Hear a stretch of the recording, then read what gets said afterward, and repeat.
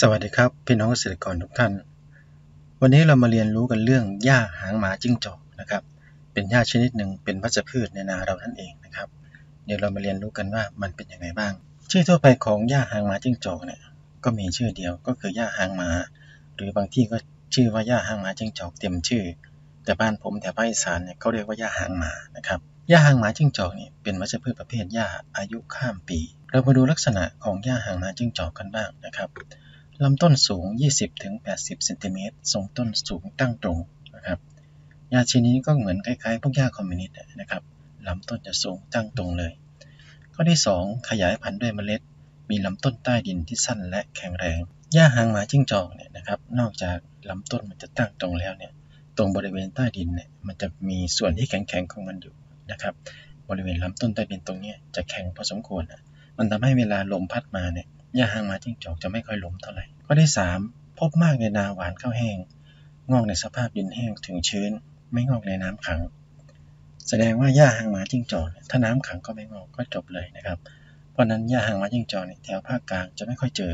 จะเจอแถวภาคอีสานและภาคเหนือซะเยอะนะครับ เพราะมันเป็นพื้นที่หวานนาแห้งนะครับ เรามาดูการป้องกันกำจัดหญ้าหางหมาจิ้งจอกกันบ้างนะครับ ก็มี 3 วิธี ก็คือวิธีเกษตรกรรม การใช้สารอินทรีย์ และก็การใช้สารเคมี วิธีแรกนะครับก็คือวิธีการเกษตรกรรมหญ้าหางหมาจิ้งจอกวิธีการทำให้ทำดังนี้นะครับ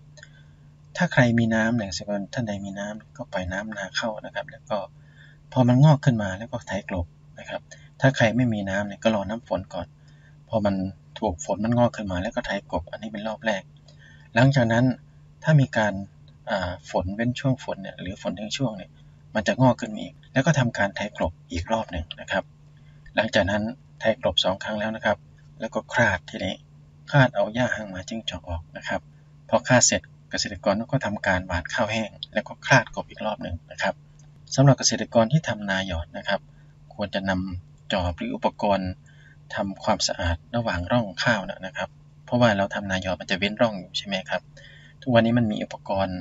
พวกประเภทอจอบหมุนนะครับ ที่ขายตามช้อปปี้ลาซาด้าเนี่ยทำความสะอาดวัชพืชระหว่างร่องข้าวนะครับ ให้ทำอยู่ 2 ครั้งนะครับ ครั้งที่ 1 หลังข้าวงอก 2 สัปดาห์ ครั้งที่ 2 หลังข้าวนอก 4 สัปดาห์ ตรงตรงช่องร่องนะครับ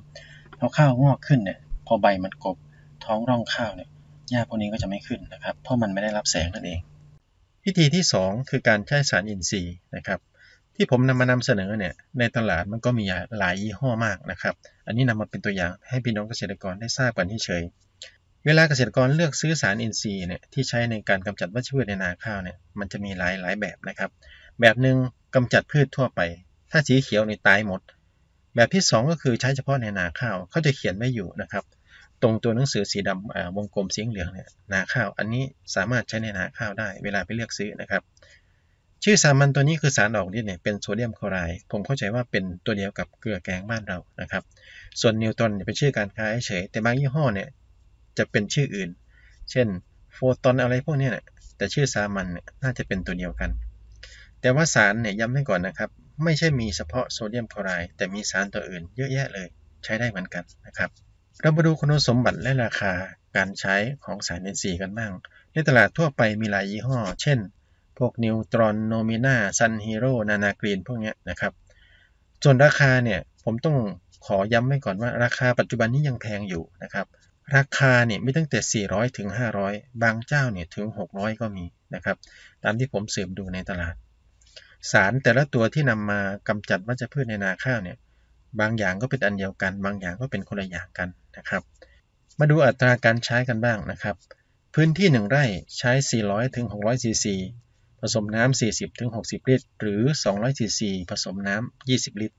แสดงว่าขวดหนึ่ง1,000ซีซีเนี่ยผสมได้แค่ 5 ครั้งนะครับ 5 ครั้งเนี่ย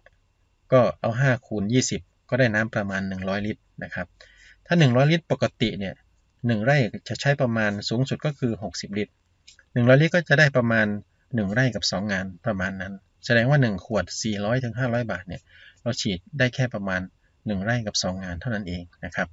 ถ้าถามว่าเทียบกับพวกยาเคมีเนี่ยประมาณร้อยกว่าบาท 250เนี่ยมันก็ยังแพงอยู่ ในอนาคตผมว่าถ้ารัฐบาลจะจริงจังกับการใช้สารอินทรีย์นะครับรัฐบาลก็ควรส่งเสริมผลิตสารพวกนี้ออกมาเยอะๆแล้วก็ให้มันราคาถูกถูกกว่าสารเคมี พี่น้องเกษตรกรจะได้ใช้ในราคาถูกต่อไป ไม่ใช่ว่าพี่น้องเกษตรกรบ้านเราเนี่ยไม่อยากใช้สารอินทรีย์ในนาข้าวนะครับ อยากใช้อยู่แต่บางครั้งมันราคาสูงเกินไป มันไม่คุ้มต้นทุนยังไงก็ขอฝาก รัฐบาลไว้ด้วยนะครับ เรามาดูวิธีที่ 3 เรื่องการใช้สารเคมีนะครับ สารก็มี 2 แบบนะครับ ประเภทวัชพืชก่อนงอกอันนี้เป็นยาคุม เช่นออกซาไดอะซอนเพนดิเมทาลิน อันนี้เป็นชื่อสามัญนะครับตามลูกศรชี้ ประเภทที่ 2 วัชพืชหลังงอก เช่นโพรพานิลนะครับเรามาดูวิธีการเลือกสารเคมีกันบ้าง เกษตรกรจะมีวิธีเลือกสารเคมียังไง ผมให้หลักพิจารณาอยู่ 3-4 ข้อนะครับ ข้อแรกอ่านชื่อสามัญ ข้อ 2 ดูเปอร์เซ็นต์สาร ข้อ 3 ดูราคา ข้อที่ 4 ดูวันหมดอายุนะครับสมมุติผมจะซื้อสารที่ชื่อว่าออกซาไดอะซอนผมอ่านชื่อสามัญก่อนเลยคือตัวสีเหลืองนะครับลูกศรสองดูเปอร์เซ็นต์สารใต้ชื่อสามัญลูกศรสีฟ้านะครับหลังจากที่ผมอ่านเปอร์เซ็นต์สารแล้วก็ชื่อสามัญเสร็จเรียบร้อยแล้วนะครับถ้าหากร้านนั้นมี 5 ยี่ห้อจะเลือกอันไหนดีนะครับถ้าชื่อสามัญกับเปอร์เซ็นต์สารเหมือนกันทุกอย่างเลยแสดงว่าสารเคมีชนิดนั้นมีประสิทธิภาพเหมือนกันนะครับประเด็นต่อมาก็คือพิจารณาราคา ราคาถูกเอาตัวนั้น เพราะประสิทธิภาพมันเหมือนกันทุกอย่างเลยนะครับ หลังจากที่ดูราคาเสร็จเลือกได้แล้วนะครับ ก็ดูด้านหลังด้วยว่าหมดอายุหรือยัง ถ้าหมดอายุนะครับ อย่านำอย่าซื้อมานะครับ เพราะซื้อมาก็เหมือนซื้อน้ำยาเปล่าๆไม่มีอะไร เพราะว่ามันกำจัดพืชไม่ได้มันหมดอายุแล้วนะครับ อันนี้ก็เป็นหลักการง่าย ๆ ในการซื้อสารเคมีกำจัดวัชพืชนะครับ สุดท้ายก็ขอฝากพี่น้องเกษตรกรด้วยนะครับ ผมขอเตือนอยู่ 3 ข้อ ข้อแรก สารกำจัดวัชพืช เป็นสารก่อมะเร็งและเนื้องอกได้ ปัจจุบันนี้เกษตรกรไทยเนี่ยเชื่อหรือไม่ครับ ว่าตายเพราะมะเร็งจากสารกำจัดวัชพืชเยอะมาก ถ้าไม่เชื่อสามารถไปดูในข้อมูลกระทรวงสาธารณสุขหรือกรมควบคุมโรคได้นะครับ มันจะมีสถิติพวกนี้อยู่ ซึ่งน่ากลัวมาก ข้อที่ 2 สารกำจัดวัชพืชเหล่านี้ทำลายปูปลาและสัตว์อื่นๆ ที่เคยเป็นอาหารของมนุษย์เช่นตะกะแตนนะครับ แมลงทับ พวกแมงดา พวกกบ พวกหวกพวกนี้ปัจจุบันนี้ในนาเกษตรกรแถวบ้านเราแถวประเทศเราเนี่ยไม่ค่อยมีหรือมีน้อยมาก ถ้ามีก็ในเกษตรกรที่ทำเกษตรอินทรีย์นะครับ เพราะนั้นในอนาคตเนี่ยลูกหลานเราเนี่ยอาจจะมีมีอาหารพวกนี้กินแล้วนะครับ ทั้งทั้งที่มันเคยเป็นอาหารของเกษตรกรบ้านเรา แต่เราทำลายมันซะเองด้วยมือของเราเอง ข้อที่ 3ทำให้ผู้ใช้เป็นหมันและมีบทยาก ข้อนี้เนี่ยเป็นได้ทั้งผู้ชายและผู้หญิงนะครับทำไมถึงเป็นอย่างนั้นนะครับ การได้รับสารเคมีทำให้เกษตรกรเนี่ย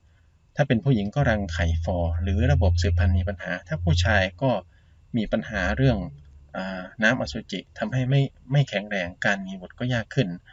ถ้ามีการตั้งครรภ์ถ้าได้รับสารพวกนี้เนี่ยเด็กในครรภ์จะมีภาวะการเจริญเติบโตที่ผิดปกตินะครับ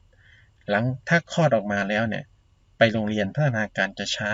กว่าเพื่อนๆนะครับ เช่นการพูดการรับรู้อะไรหลายอย่าง สุดท้ายถ้าหากพี่น้องเกษตรกรจะพิจารณาการใช้สารเคมีในการกำจัดวัชพืชนะครับ พวกหญ้าอะไรต่างๆเนี่ยก็ขอให้พี่น้องเกษตรกรพิจารณาให้ดีก่อน เพราะผลที่ตามมานั้นยากจะคาดคิดจริง ๆนะครับ เพราะในอนาคตเนี่ยลูกหลานเราก็จะต้องใช้ทรัพยากรพวกนี้ต่อไป ขอรัตนาคุณพระรัตนตรัยคุ้มครองพี่น้องเกษตรกรทุกท่าน ให้อยู่ดีมีสุขปลอดหนี้ปลอดสิน ขอบคุณและสวัสดีครับ